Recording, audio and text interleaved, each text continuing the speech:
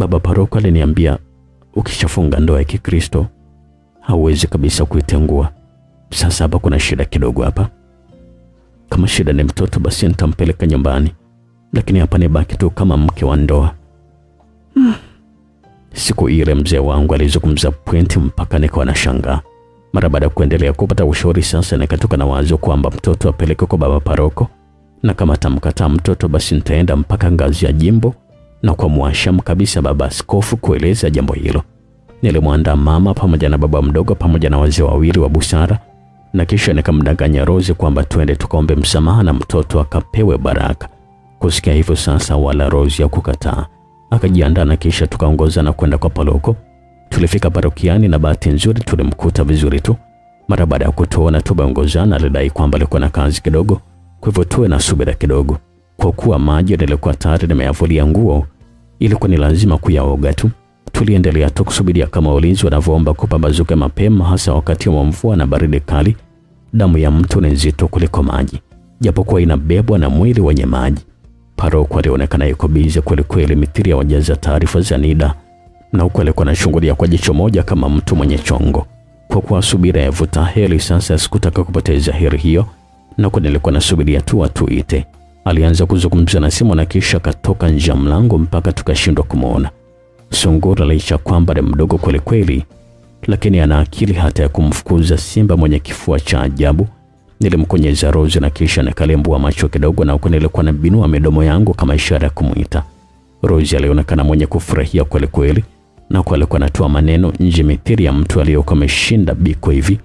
Chelewa chelewa, utakuta mwana sio wako, na ukisubiria alihivyo wanza kuwa na kula mbichi mtini. Tulitoka nje na kisha nikamshika kifani mwake na akastuka, na ukalekwa na shanga kweli kweli kwamba kwa nini leo nimekuwa tofauti kama hivyo. Nilimsaidia kubeba mtoto na kisha nikambusu mtoto. Mara baada ya mawindo hayo sasa, nilimwambia Rosi akamwambia paroko kwamba tumekuja kuomba msamaha, lakini pia tunatakiwa kurudi nyumbani mapema. Rosi alipokea kwa furaha kweli kweli taarifa hiyo na alikwenda moja kwa moja mpaka ofisini kwa baba paroko. Alifungua mlango na kisha alisema na sisi tuingie ndani.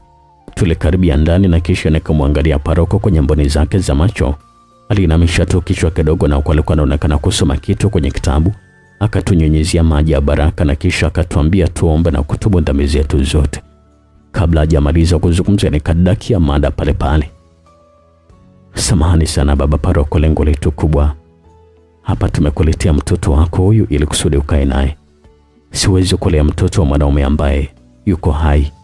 Ni adhabu kubwa sana kama utamkana mtoto huyu, na nipo tayari kwenda mpaka kwa baba askofu ili kusudi kueleza haya yote ambayo nakwambia hapa, ikiwa tu utamkataa mtoto. Na kuheshimu sana baba, lakini nakuomba sana kwa ile utuvumilie. Wewe kijana, mimi mpaka napata nafasi kama hii nimetumia zaidi ya miaka thelathini. Sasa haya maneno ambayo unatoa kwangu na kufuru kwa Mwenyezi Mungu. Tumepewa mamlaka ya kufunga vitu duniani, lakini pia kuvifungua. Nina uwezo wa kukufungia na mbingu yoyote usiweze kuiona. Sawa baba, mimi niko tayari unifungie tu, lakini tunataka jibu, huyu mtoto ni wako ama unamkataa? Kama unataka kumtupa mtoto, basi leta tukamlee kwa watoto yatima, maana mtoto ni baraka kutoka kwa Mungu. Alimpigia simu sista na kisha akampatia maelekezo na akakubali kuchukua mtoto huyo Daniel kwenda kuelelewa kwenye kituo cha watoto yatima. Na mara baada ya muda sasa walikuja kumchukua mtoto huyo, na huko mama yake na Rozi alikuwa anaangua kilio mitiri ya mwanafunzi aliyefiwa na mama yake. Walimbembeleza nyamaze na kumsihi kwamba atazoea tu, na kisha mtoto alipandishwa kwenye gari kuelekea jimboni ambako ndio kulikuwa na kituo hicho cha watoto yatima. Mara baada ya gari kuondoka sasa, mtoto japo alikuwa ni mdogo alisikika akiwa analia kweli kweli kwenye gari, jambo ambalo likafanya roho yangu ineume kweli kweli, lakini sikuwa na namna kabisa. Tukarudi nyumbani na huku watu wengi walikuwa wananipongeza kwelikweli kweli kwa kudai kwamba nilikuwa nimefanya jambo la kishujaa. Rosie hakuacha kutoa machozi, ndipo sasa nilipoamua kumwacha na kwenda kwa Neema. Nilipofika sikumkuta kabisa Neema, na kwa niliona dalili za vitu kuvurugwa vurugwa ndani hivi. Nilishtuka kwelikweli, kweli, kisha nikaona begi lake na vitu vyake vyote hamna. Nilijua kabisa moja kwa moja kwamba Neema alikuwa amesafiri kwenda kwao. Kutokana na muda ambao walikuwa wameondokea, magari yalikuwa tayari yashaondoka. Nilimwita bodaboda na kisha akanikimbiza stendi, na huku kichwa changu nilikuwa nahisi kilikuwa kimepigwa risasi hivi. Safari ya kumfuata Neema ilikuwa inaendelea tu. Nilimwambia bodaboda ongeze spidi zaidi, mithiri ya mtu anayewahi ndege mara baada ya kukata tiketi. Kila tulipokuwa tunapita, watu walikuwa wanatushangaa kwelikweli sisi tu, mpaka walikuwa nadhani kwamba kuna mtu alikuwa ameiba mali ya mwenzake pengine. Tulipofika stendi, nikashuka haraka na huku nilikuwa naangalia kila sehemu kama mtu aliyepoteza funguo ya chumba, lakini sikufanikiwa kabisa kumwona Neema. Niliuliza kila kona, lakini bado ngoma ilikuwa imebaki vile vile. Nilimwambia bodaboda akanirudisha nyumbani na kisha tufanye utaratibu wa kuulizia nyumbani kwao kama alikuwa ameshafika au la. Kwa bahati mbaya sasa, wakati tunarudi nyumbani, dereva bodaboda alimgonga mbwa barabarani, kisha pikipiki ikahama njia na kujikuta inapotelea kwenye gari aina ya Noah. Dereva bodaboda alipoteza maisha pale pale, lakini mimi kwa maajabu ya Mungu nikajikuta nimechubuka magoti na viwiko vya mikono yangu. Watu walikusanyika mitiri ya sisimizi aliyeona sukari, na huku bongo liko umetapakaa barabarani tu. Askari walifika mapema na kisha walichukua mwili wa marehemu, nami nikachukua usafiri wa gari, kwani sikuwa na hamu ya bodaboda tena. Nilipofika katikati ya safari, nilihisi maumivu kila kiungo cha mwili wangu, nikiwa nimevimba mashavu kama mtu aliyeng'atwa na nyigu. Mara baada ya kufika kituoni sasa, nikateremka kwenye gari na nilikuwa nachechemea kama mtu aliyekanyaga kinyesi hivi. Siku ile nilivuruga kweli kweli. Nilipokaribia nyumbani, nilisikia kelele kwa wingi na huko nikawa nadhani walikuwa nisubiria mimi.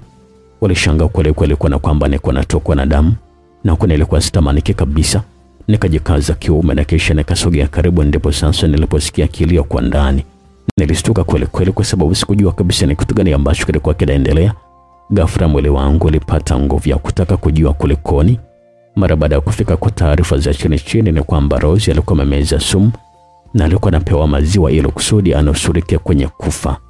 Nikiwa nimesimama pale sasa, nikaishiwa nguvu kabisa na kisha nikadodoka chini, ndipo aliponibeba na kunipeleka hospitali. Sikujua kabisa ni kitu gani ambacho kiliendelea kwa Rose, lakini niliona tu ujumbe kwa mama kwamba Neema alikuwa ametoroka na sijui ni wapi alipo. Mambo yalikuwa ni magumu kweli kweli kwangu. Nikiwa nimelazwa hospitali iliyokuwa karibu na kanisa, nilianza kuwaza kwamba huenda msemo wa paroko kwamba anaweza kunifungia unaweza kuwa umeanza kufanya kazi kwangu, na huko nilikuwa natetemeka kweli kweli. Mara baada muda sasa nikasinzia na sikujua kabisa kitu gani ambacho kiliendelea mpaka nikaja kuzinduka tayari kulikuwa kumesha kucha. Kesho yake baba paroko alikuja kuniona na kisha kaomba nikauguzwe nyumbani ili kusudi kuepusha gharama. Walimkatalia na kumwambia kwamba kesho yake ndiyo nitaruhusiwa kwenda huko nyumbani. Alianza kunipatia mkanda mzima wa Rose na kuelekea anasema kwamba hajui kama atapona, na kwa sasa alikuwa amepelekwa kwenye hospitali ya wilaya. Japo sikuwa nampenda kabisa Rose, lakini nikajikuta roho yangu ilikuwa inaniuma kweli kweli, mpaka nikaanza kutokwa na machozi, na huko nilikuwa na mimi naugulia tu majeraha yangu. Ama kweli wanasema kwamba bahati haitokei mara mbili, lakini mikosi inaweza kutokea hata zaidi ya mara tatu. Nilianza kupenga makamasi, lakini wapi, hata ya kupatikana Ikawa jioni, ikawa asubuhi yake, na kisha muda wa mchana kama tulivyoahidiwa, tukaruhusiwa kuelekea nyumbani. Mara baada ya kufika nyumbani sasa, nikajilaza kwenye mkeka na kisha nikanyosha miguu kusudi kupunguza maumivu ya kukunja goti.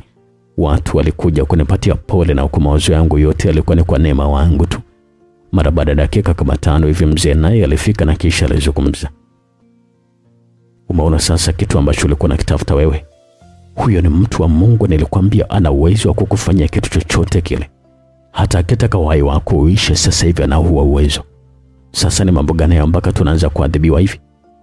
Lakini mimi simo, endelea tu hivyo hivyo na mama yako huyo.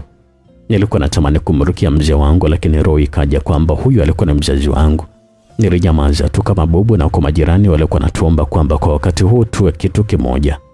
Mara baada ya kama dakika tano hivyo, mama ambaye ndiye aliongozana na Rozi alipiga simu na kisha nikapokea, na huko nilikuwa nasubiria tu majibu ya kwamba yuko hai au alikuwa ametangulia mbele za haki. Wapatie tu taarifa kwamba Rozi ameaga dunia, na kwa taarifa ya daktari anadai kwamba alicheleweshwa. Hey, mama, mama, mama, mama, ni kweli kabisa ambayo unazungumza sasa? Na kudanganya kitu gani kwenye swala serious kama hili? Lakini fanyeni maandalizi kabla ya kutoa taarifa kwa watu eh. Oh jamani, Rozi usilia mwanangu, sawa? Mama alizungumza bila kisha alikata simu na kisha nikawa sasa nimejilaza kwenye mkeka. Nilianza kutokwa na machozi kama mtu aliyezingirwa na moshi machoni hivi.